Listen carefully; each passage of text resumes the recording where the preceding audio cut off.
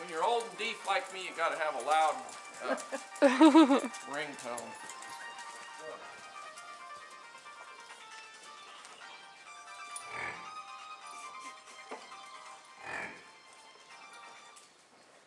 Hi there.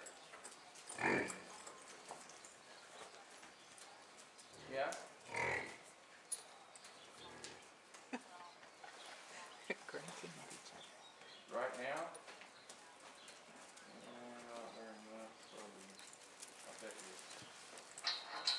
I don't know, between six and eighty-five hundred. They really go downhill. Probably the name tires are worth more than that, but.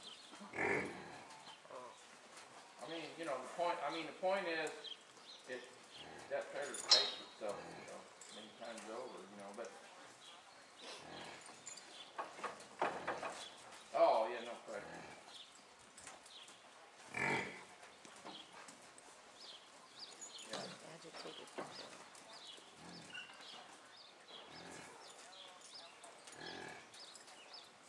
Yeah.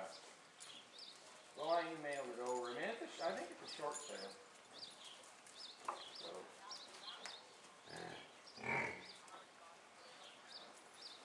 No, it, that's, di- it, it, what that does is it's an attempt to, for the bank to not, to not do a foreclosure. They sell it to try to just get what they got in it and, and just take it, you know, just gets it out from under the. Right, so you just, what you really try to do is you try to get a hold of the, of the representative from the lending institutions and have them say, okay, what's the number, you know? And then usually like, it's about a four percent commission split. Good, Robert, real good. Okay, good. Bye. I'll tell you what, shoot, shoot three more little nice stops, we need to, we need to quit her. Good go. Very cool.